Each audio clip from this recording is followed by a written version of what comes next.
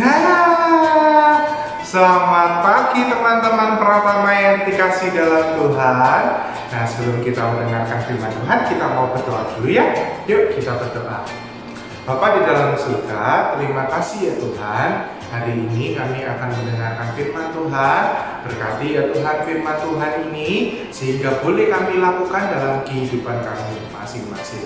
Hanya di dalam nama Tuhan Yesus kami berdoa. Amin. Loh, kok hitam ya? Semua kok terlihat hitam. Oh, loh, saya Armando, bapak kacamata. Nah, hitam lagi ya. Nah, kalau ingat kacamata itu pasti kita ingatnya pergi ya, pergi ke pantai, pergi ke mana, pergi ke Bangkok, pergi ke Malaysia, pergi ke mana pun ya. Tapi sekarang kita tidak bisa karena COVID ini ya. Nah, kalau kita pergi itu selalu ada checklistnya.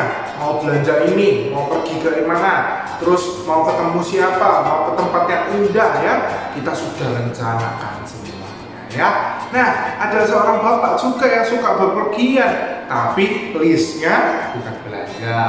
Listnya bukan pergi ke tempat indah. Listnya adalah menjaring orang-orang untuk percaya percaya sama siapa?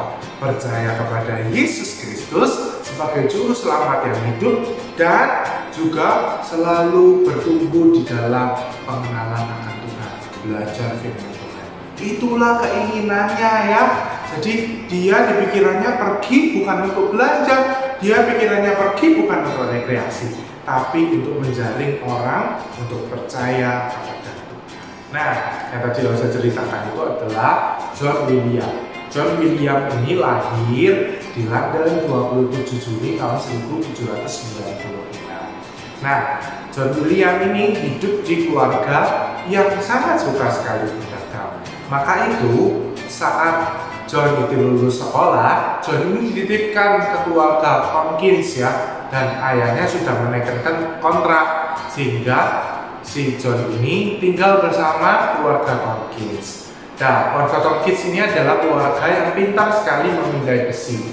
Nah, waktu itu keluarga Tom Kids ini adalah keluarga yang mengasihi Yesus. Jadi, Bapak Ibu Tom Kids ini selalu mengajak anak-anaknya maupun si John untuk pergi ke gereja.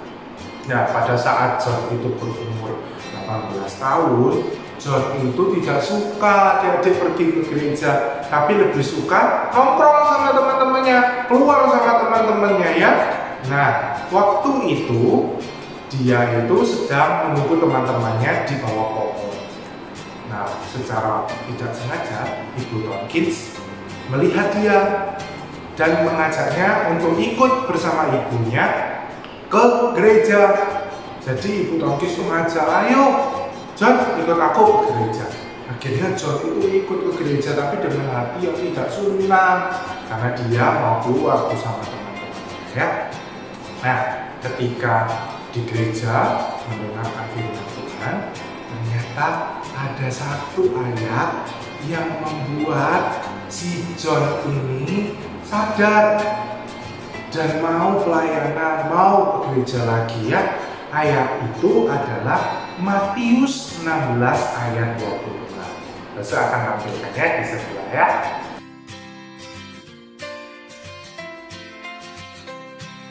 John akhirnya bertobat dan akhirnya memilih untuk menjadi pelayan Tuhan waktu itu.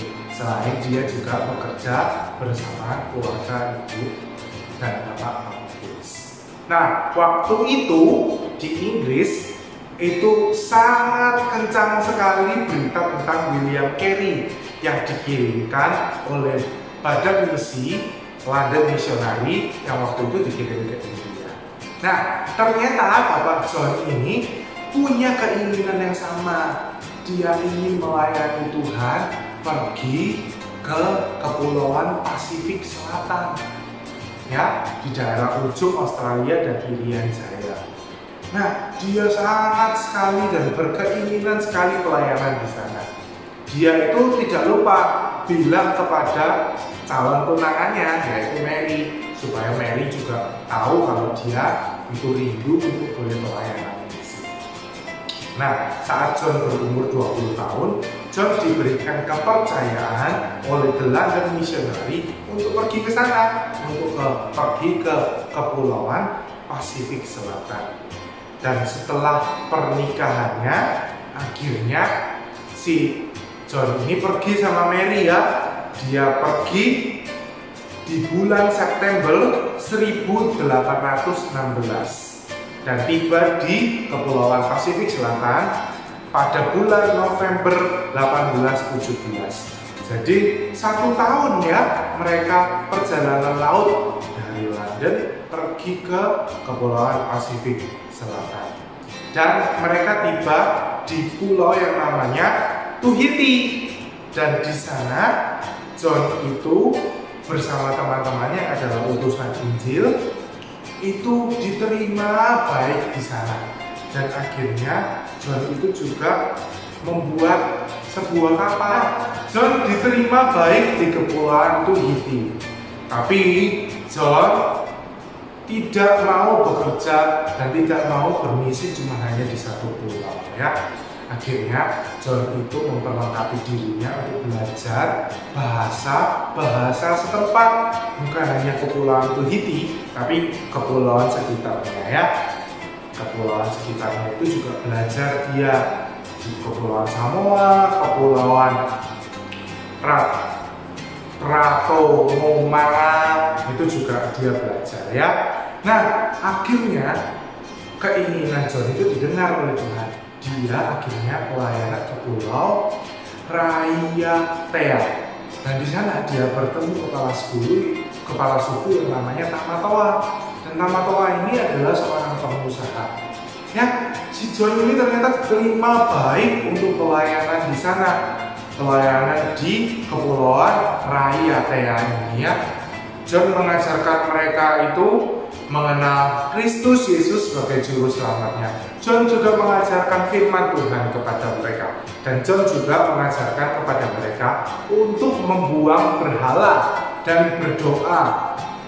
Nah, akhirnya ini pun orang-orang raya TA ini banyak yang akhirnya percaya kepada Yesus karena si John ini ya dan John itu bukan hanya memperlihatkan kerinduannya untuk mereka percaya kepada Yesus. Tapi dia juga mengajarkan bagaimana dirinya sebagai seorang misionaris meninggalkan zona nyamannya di London ya. Jadi pengalaman hidupnya John sama Mary itu juga diceritakan.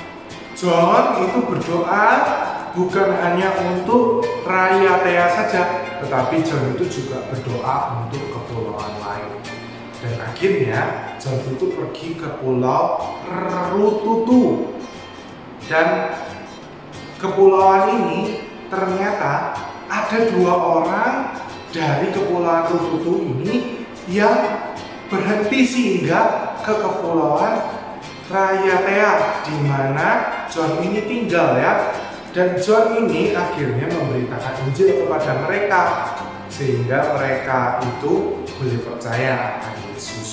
Jadi mereka itu diajari menulis, diajari mengenal firman Tuhan, diajari mengenal Yesus, diajari meninggalkan berhala mereka. Dan ternyata Tuhan itu membuka jalan untuk pergi ke sana, pergi ke Ratutu itu ya. Ada kapal Inggris yang berlayar ke Raya Rea itu hendak pergi ke sana. Jadi ada beberapa orang yang dititipkan. Orang-orang ini juga akan pulang ke sana dititipkan bersama orang-orang bersama dengan doa John William. Sehingga John ini bisa mengatakan Injil di sana lewat orang-orang ini tadi. Dan ternyata John itu mendengar setelah orang-orang ini pulang ya beberapa bulan berikutnya didengarlah bahwa ternyata di Ratu itu ada banyak orang yang percaya karena pekerjaan John untuk mengajarkan Injil kepada orang-orang Ratu itu tadi di Raya ya dan itu membuat John semakin semangat giat penginjilan dan mengajar di kepulauan Raya tadi agar mereka bisa mengutus kembali orang-orang yang percaya kepada Yesus untuk sebagai alat perantara. Nah, jadi yang dikasih dalam Tuhan, ternyata John ini sudah punya perpanjangan tangan ya. Dia punya dua orang yang namanya Papeiha dan Fahapata. Nah, ini adalah dua orang yang cinta Tuhan juga dan punya semangat yang sama seperti John. Yang mereka dikirim ke kepulauan yang namanya Aitutaki dan mereka di sana mengabarkan Injil. Tetapi teman-teman ya, saat mereka berdua itu mau tiba di sana, eh mereka itu mau dibunuh loh, mau dibunuh, barang-barang mereka dirampas ya. Tetapi ternyata kedua orang ini, Papieha dan Fahapata ini tidak dendam kepada orang-orang. Itu tadi ya, tetapi mereka justru mengasihi dan mendoakan mereka. Dan ini ternyata membawa dampak bagi orang-orang di dalam kepulauan itu tadi. Akhirnya mereka itu menjadi percaya kepada Yesus, mau membuang berhala, mau berdoa, bahkan membuat persekutuan. Dan waktu John itu ke sana mengunjungi Papieha ini dan Pahapata ini ya, dia itu melihat ada satu gereja di sana. Wah, hebat ya John ini. John ini bisa mendelegasikan tugasnya kepada teman-temannya sehingga pekerjaan Injil, pekerjaan misi bisa berhasil ya. Kalau kita lihat tadi ya tantangan untuk mengabarkan Injil, John dan kawan-kawan timnya itu adalah dibunuh. Ya, mereka dirampas barang-barangnya dan ada banyak. Tetapi ketika kita melayani Tuhan dan menyerahkan diri kita kepada Tuhan, percayalah Tuhan selalu membukakan jalan seperti kepada si John yang dibukakan jalan ya. Nah, John ini ternyata juga mendengar tentang kepulauan Raru Rarotonga ya. Dan John mendengar bahwa ada dua orang dari kepulauan itu yang dibuang di kepulauan Rayetia di tempat di mana John berada. Nah, John akhirnya juga mengajarkan Injil kepada dia ya, memberitakan Injil kepada dia, mengenalkan Yesus, siapa Yesus kepada dia. Dan akhirnya tiba ketika dua orang ini itu ternyata mau pulang ke pulau Raro Tonga dan mereka ternyata menaiki sebuah kapal ya kapal yang sudah disiapkan dan mereka itu akhirnya pergi ya dua orang ini pergi John Mary dan Bapak Papeha dan istrinya juga mengantar dua orang. Jadi ada enam orang yang pergi ya. Nah, waktu tiba tiba dekat kepulauan itu, wah ada badai ya, ada badai yang membuat mereka tidak bisa sampai di kepulauan itu. Dan akhirnya mereka itu cuma sampai di bibir pantai. Jadi dari bibir pantai itu ke situ nggak bisa pakai kapal yang besar, jadi cuma kapal yang kecil. Hadirnya keluarga Bapak PPIH dan istrinya serta dua orang ini yang pergi ke sana, ya pergi ke sana untuk melihat keadaan. Dan ternyata Bapak PPIH ini mengatakan kepada John yang ada di seberang memberikan tanda bahwa dia akan tinggal di situ dan ya. Dan John dan Mary hanya bisa John dan Mary itu akhirnya pergi kembali ke kepulauan Rarotonga itu setelah empat tahun lamanya setelah mereka pergi ke sana pertama kali ya. Itu kenapa? Karena mereka secara ekonomi tidak bisa pergi ke sana ya. Dan akhirnya mereka pergi ke sana. Dan ternyata sudah ada orang-orang yang percaya kepada Kristus. Dan itu adalah anak-anak dari Bapak PPIH dan kita bersyukur ya. Itu bersyukur sekali John sama Mary karena pelayanannya yang begitu luar biasa. Nah Bapak John akhirnya pergi juga ke kepulauan lain di Pasifik di Pasifik Selatan ya. Dan akhirnya John itu pergi ke kepulauan pulau-pulau di Hebridenberg ya. Dan ternyata ini membuat Mary takut. Mary takut karena mendengar rencana ini tapi John itu mengatakan sama Mary Mary dengarkan ya. Ada banyak orang yang belum mengenal Yesus jadi aku harus pergi ke sana. Aku mau mengabarkan Injil ke sana. Sehingga banyak orang yang boleh percaya sama Yesus ya. Akhirnya 4 November tahun 1839 John William pergi ke Eromanya. Tapi Mary itu dalam hatinya sudah ngomong sama John ya waktu dia pergi janganlah pergi ke sana. Jangan gitu ya. Dan akhirnya ketika si John tiba di sana 20 November 1839 John ini ternyata diterima baik-baik di sana. Ya diterima baik-baik. Ternyata penduduk itu pura-pura baik dulu ternyata. Dan ternyata putusan Injil yang ikut bersama John untuk pergi ke sana semuanya dibunuh. Nah John ini mau melarikan diri tapi dia tersandung dan akhirnya dia juga dibunuh.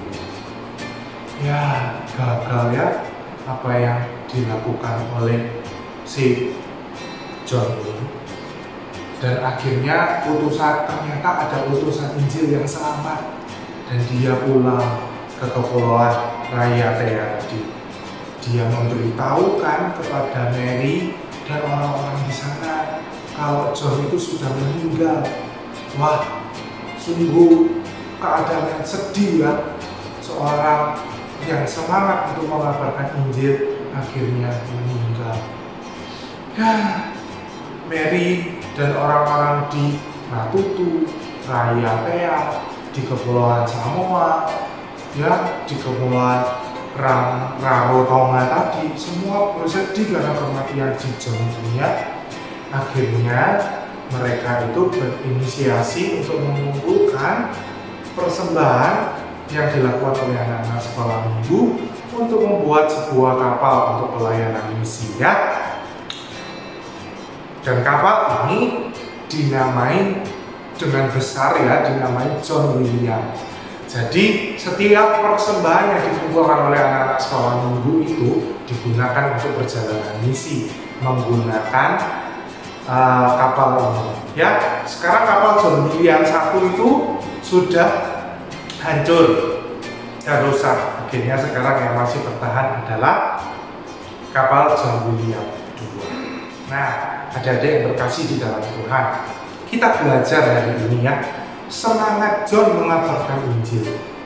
John menyadari bahwa ada banyak orang yang belum percaya kepada Yesus. Makanya dia bersemangat untuk mengabarkan Injil karena dia ingin semua orang itu mengenal Yesus. Injil itu baginya adalah penting untuk merubah orang-orang yang tidak percaya. Berapa orang yang sudah dirubahkan John William? Di Kepulauan Raya Tea, Ratutu, Ratoma, Ratomoa, ada di Kepulauan Samoa, semua diubahkan. Dan yakinlah bahwa ketika kita mengabarkan Injil, itu Tuhan akan membantu dan menolong pekerjaan Injil. Nah teman-teman, kita kan mungkin untuk pergi ke sana itu susah untuk mengabarkan Injil. Tetapi kita bisa mengabarkan Injil ya kepada siapa? Kepada orang tua kita kalau orang tua kita belum percaya kepada mbak-mbak pembantu kita, sopir kita, ya orang-orang yang membantu kita yang belum percaya. Caranya adalah lewat perbuatan kita, ya. Caranya kita tidak boleh itu kasar sama mereka, tetapi kita harus baik karena kita adalah Kristus. Semangat itu yang harus kita punya ya, semangat untuk mengabarkan Injil janganlah redup, janganlah itu hilang dari hati kita. Yang penting adalah semangat untuk mengabarkan Injil. Nah, ada yang terkasih dalam Tuhan, kita mau ayat hafalan dulu ya, ayat hafalan yang melandasi cerita kita hari ini dari Yesaya 51 ayat 5c. Kepada pula pulau-pulau menaati perbuatan tanganku, mereka harapkan. Kepada pula pulau-pulau menanti-nanti perbuatan tanganku yang mereka harapkan. Ya, sekali lagi Yesaya 51 ayat 5c. Kepada pula pulau-pulau menanti-nanti perbuatan tanganku, tangan Tuhan ya, yang mereka harapkan. Ya. Kepada pula pulau-pulau menanti-nanti perbuatan tanganku yang mereka harapkan. Nah, mari kita berdoa ya.